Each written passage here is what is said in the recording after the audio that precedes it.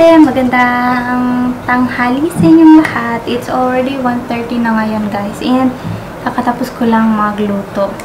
And then nakalinis na rin ako sa living room namin. Pero yung bed, hindi ko pa siya nalinis. If napapansin nyo guys, iba yung background ko kasi nag-change kami ni PJ ng, ng setup. Yung table namin nasa labas, yung pinapatungan ko ng, ng camera para maglinis yun. Kasi, bumili si PJ ng ping pong something, right? Ping pong net. Tapos, naghihintay na lang kami sa ping pong racket para maglaro na kami ng ping pong doon. Yung table ni PJ, yun yung ginagamit ko. Nandito ako sa edge, tapos siya, andun siya. Yes, naglinis ako kapon guys, pero it's still very, very, very... How about you? Move a little. So, ito yung setup namin, di ba? There. Just showing, this is my area, and then this is his area. And then our... area is bigger than hers. And then our TV. Uy! My area is small. Yes, I said my area is bigger than hers. Yeah, so kaunti lang yung area ko guys. Pero, I like it kasi na may wall ako dito. Sabi ni PJ sa akin kahapon na masaya ka no, na nandito ka sa gilid. Sabi ko na oo. Sabi niya na, alam ko kasi you're a corner person daw. Mahilig ako sa mga corner. Kasi parang I feel like, I feel very secure. Like, parang ganun. Like, like dito lang yung vulnerable, tapos dito may wall ka, diba? Mamaya guys, magluluto na naman ako ng karela kasi binilhan ako ng mami ng karela, I don't know, 2 days, 3 days ago. Pero hindi ko siya niluto kasi may period ako ng mga panahon yun. Tapos like, tinatamad ako, yung mga ganun. Hindi ko, hindi ko feel magluto. So, mamaya, maybe pagkatapos namin kumain, um, ikakat ko siya, tapos ilalagay ko siya sa tubig na may asin. Tapos mamayang gabi ko na siya lulutuin. So yes, nung last time, if na-remember nyo guys, ilalagay ko yung video dito.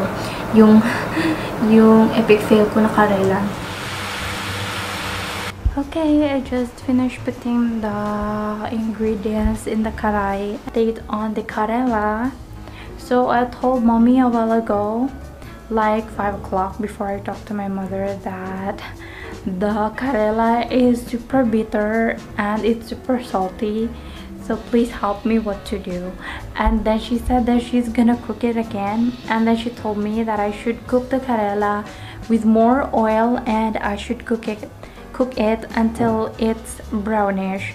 So after she cooked it, I actually saw her doing it a while ago. And then after she cooked it, she asked me to taste it and how is it? And it was actually good. The bitterness is better than how I did it. So she said that next time when I cook it, I should cook it like how she does it. And then this one is how mommy cooked the karela.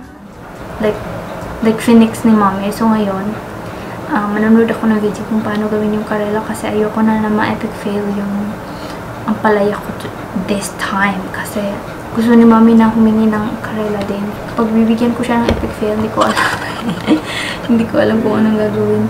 So, dapat tama na talaga yung karela ko today. Okay, let's do this. Somebody Why wants my to face try. is there? Bakit? I'd like to try it. That's fine. What, like this? Yes, I can lift her up. Okay, enough. Uh, uh, uh, I think I'm getting old. Uh, what is it? That's that, that you have to tell me before you try to do that so I can lift. Wait.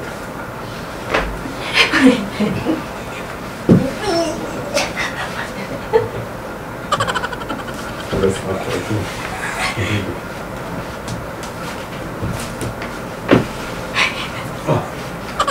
Okay, that works. but I'm a little bit disbalanced. You're getting heavier. Our food. Wow, pure white rice. No more brown. Brown is. Then, my new papad. Okay, so ito yung ang ampalaya dito sa India, guys. Ito, maliliit sila. Tapos, this is super, super bitter. Like, my gosh. Nagluto ako nito, tapos epic fail, this is super bitter. Like, hindi ko ma-explain yung pagka-bitter niya. It's just so bitter. Hindi katulad ng ampalaya sa Pilipinas. So, now, puputulin ko na muna to para malagyan ko ng tubig at asin. Lulutuin ko siya mamaya. So, for this guys, si mami, kapag nagluluto siya nito, sinasali niya yung seeds kapag nagluluto siya. Hindi naman siya masyadong hard yung seeds. May iba lang na hard, pero I'll just try and cut this very thin. Since sinasali nila yung seeds, isasali na lang din natin yung seeds. Kasi bibigyan ko si mami nito mamaya kapag natapos ko nang lutuin. And then, may nakita na din akong recipe sa YouTube. So, yun na lang din yung ikakopy ko. Favorite ko talaga to guys. Like, I really love how this tastes, even though it's bitter. Pero may mga masama kasi na nilalagay sila dito. I will show you later kung paano ito lutuin. But you can also search it online if you're curious how to cook ang palaya dito sa India.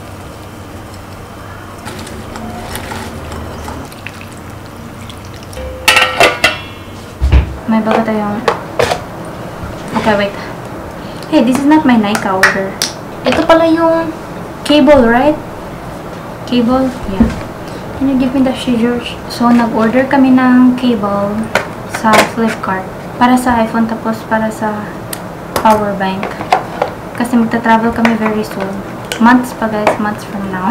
Not now, months from now. Magta-travel kami. So, nag naghahanda ako ng mga gamit ko para hindi malobat yung phone ko kapag nag take ako ng. Ooh, ito siya.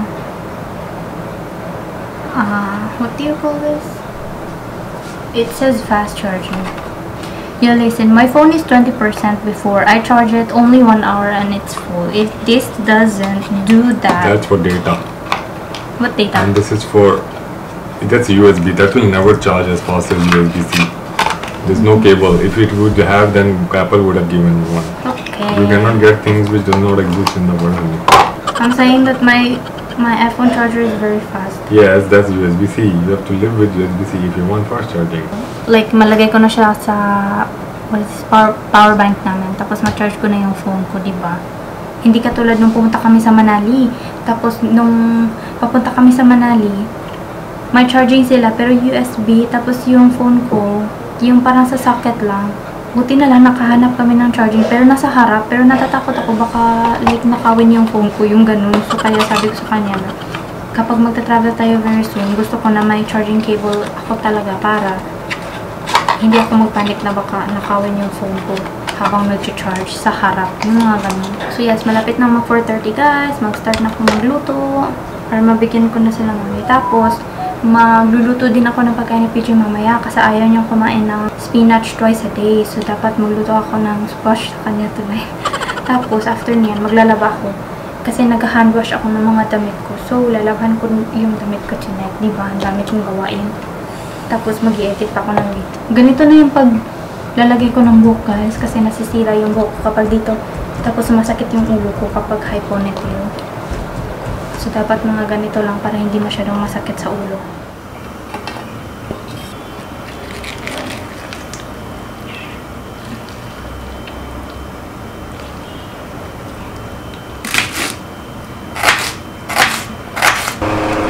It's making me cry, so he's helping me.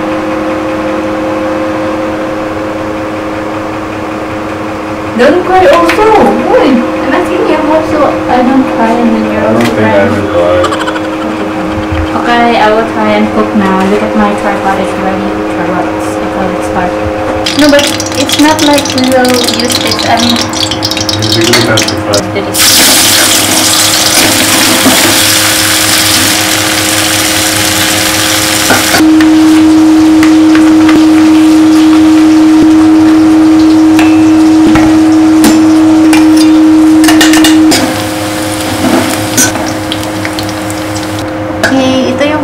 Guys and then lulutuin natin ito mamaya. Mag-deep fry na muna ako ng, ng onion.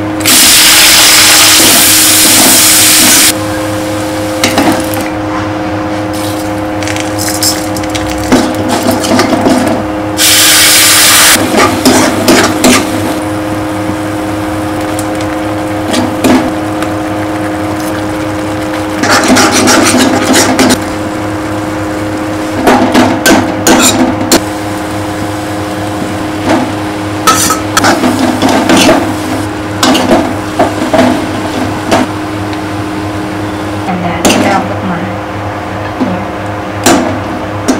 This canola will, like you can eat this for so many days because you can only eat a little bit of this because this is deep fried so it's not gonna be good if you eat a lot of it so you can only eat a little at a time. So that's why this one will last me maybe like four or five days. This I'll give this to my in-laws. Hello guys! Kakatapos ko lang magluto ng karela. My gosh, sobrang init dun sa kusina. Ay, pinagpapawisan talaga ako. Dumating na yung Nika na order ko. Like sabi ko diba, nag-order ako kagabi. Tapos, I thought hindi siya dumating kasi itong maliit lang yung binigay ni PJ which is yung cable. Pero dumating din pala yung Nika ko na order. Nag-order ako kagabi. Yung mga in-order ko is nail products. Tapos, bumili din ako ng hand cream kasi grabe guys, yung every time matapos ako mag maghugas ng pinggan, sobrang dry ng skin ko. Tapos kagabi, nag-i-itchy yung, ay, yung kamay ko kasi sobrang dry. So, yung nilalagay ko, yung lotion ko sa CR. Tapos ayokong pumunta sa CR para magkuha lang ng lotion ko. So, gusto ko may lotion ako. Hand cream, tapos nag-order ako ng nail products kasi it's been a while na bumili ako ng nail products. Paulit-ulit na lang yung colors na sinusuot ko. Nude, or purple, or blue, or red. Or sometimes ako nagre-red guys kasi nice yung red pero hindi ko feel yung texture ng red ko. Tapos, first, ano, bubble wrap. Okay, ito yung muna, yung, ano ko, yung cotton pads ko. Kasi malapit na maubos yung cotton pads ko. Ito na lang yung naiwan.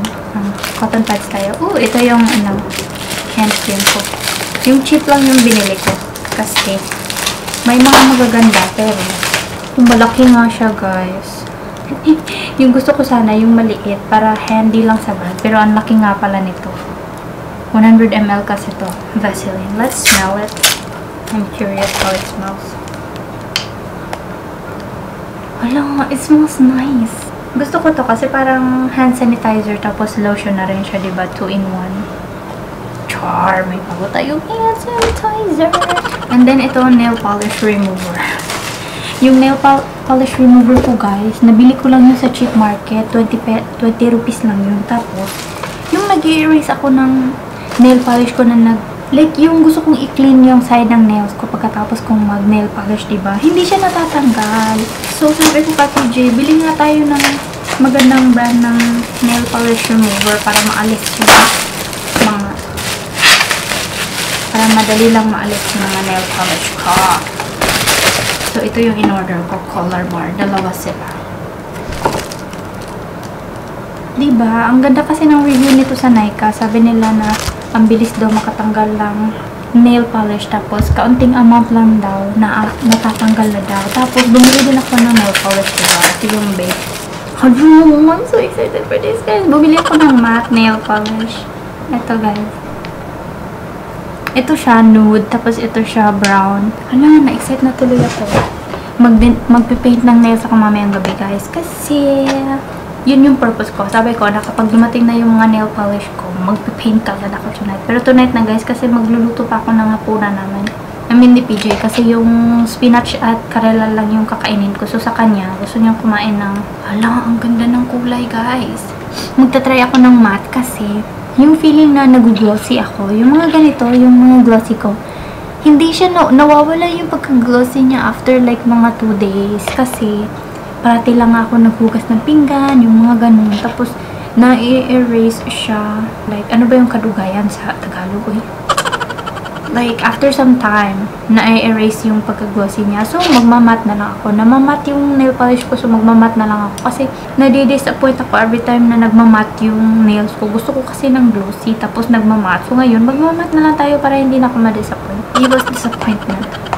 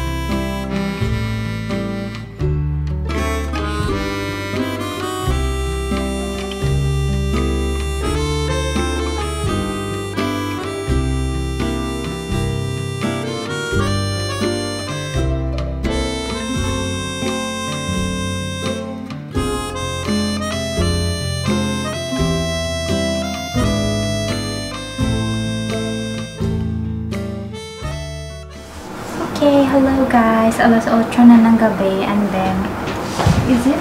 Oh, almost 8 na. You take the rice. And you, you take the rice, we take the tomato. Make sure nothing sits on my food. Yeah. So, kakatapos ko lang maglaba and then, almost alas 8 na, di ba? And then, nakapag-fold na rin ako ng mga blankets na nilaban ko kahapon. And then, na-realize ko na mag-a day in the life na lang ako sa video na to. Like, yung, yung mga ginagawa ko dito sa bahay. Since, ang busy ko today. Like, grabe. Tatlong beses akong nagluto. Tapos, ayun, naglinis pa ako kanina umaga, di ba? Kaunti. And then, naglaba. Here, I will get peta in my. You, you take you take this katori. Sorry about that. You take this katori. Take the peta as much as you want. That. Oh, I'm not gonna eat perta. My food is the karela and the... Karela need to be heated or what? Yeah, you eat the karela. I'm gonna heat it. You put in a katuri. So yeah, si PJ yung pina-init ko ng mga pagkain kasi napagod ako. And then, yung mga pagluluto ko, mga dalawang oras each siguro yung mga pagluluto ko. Except sa last one kasi kaunti lang yun. So, mga isang oras lang siguro yun. So, yung kaninang umaga, mga dalawang oras. Hindi ko alam. Uy, may, ma- maybe one hour lang din. Tapos, nung tanghali, nag-edit din ako ng video. Wow, grabe. Ang busy ko today. I was really trying my best na gawin yung paglalaba, yung pagtutupi. Kasi mamaya, magpipaint ako ng nails, diba? Magbo-brown nails ako mamaya. So, yeah. Oops. Is it okay if I hit in this katori? The karema? Which katuri? This katori. No, you use other katuri there. You use a new one. Just take some of that. Very slowly, very slowly. I'm the one who's gonna wash dishes, so di pa, no, mag, maghugas pa ako ng pinggan, so yeah, grabe yan. Napagod ako today. Ugh. Pero I feel energetic. Like yung marami akong ginagawa. Di ba nag-workout ako ng mga nakaraang araw? Hindi na yun nangyari guys. Dahil naglalaban ako, di ba? Tapos nagiging busy na ako and then like napapagod na ako so hindi na ako nakakapag-workout. Grabe yung mess ko dito. Ang dami kong mga gamit mga electronic stuff. Nilalagyan ko siya ng panyo para hindi ma-dirty yung ano ko, yung straw. Kasi walang cover yung straw ko. Ah, palitan na muna natin ng pagkain. Ay, yung battery. Okay, this is our dinner. The bertha. The spinach. No, it looks so dry. We put it in the microwave. Rice, oh, two, and then macarella. Papa is two because one is mine. Oh, nice. Many food.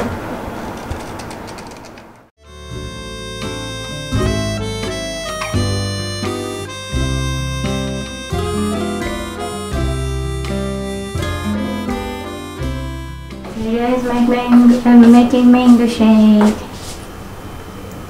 Yeah, as if it's a rocket science. Oh, you turned it off? It was not boiling. It doesn't need to be boiling, it just needs to be hot. There.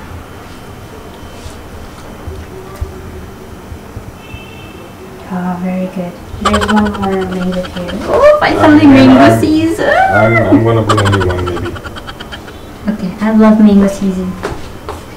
Mango season is the best. It seems like one is enough. No, if you put two mangoes, it will be mangoey. Come on, my mango shake maker. I already washed the dishes, so It can spill. just slowly. I thought you said you will include that. Mommy does that also. That's the easy way. That's how mommy does it. What the hell? This is called sugar shower. Are you think the one they give in the market is without sugar? No, that's not what I saying. The one they give in the market, they pull the whole thing. This is our magic pot. I like only meant to be for. Uh, this is I like this magic pot.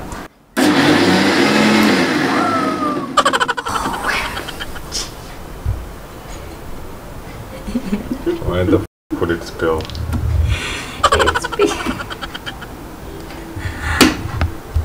Why would it spill? Oh, that's better. It's okay. I will clean it. Just just give it. Just give it to dad first. I will clean it. Let me check first. You want taste? No. I think that's nice. Okay, let's But it's hot. It's okay. It's hot. It's okay. We're not supposed to drink cold. I will drink it. It's hot. Allah, it's hot, guys. This is called hot mango shake. How is the sugar? Mm-hmm. It's okay. It's good. What are you doing? Keep it in the fridge. Huh? Let's keep it in the fridge. no, I won't drink it like that. Mine I'm gonna keep in the fridge for five minutes. And then you will get sore throat.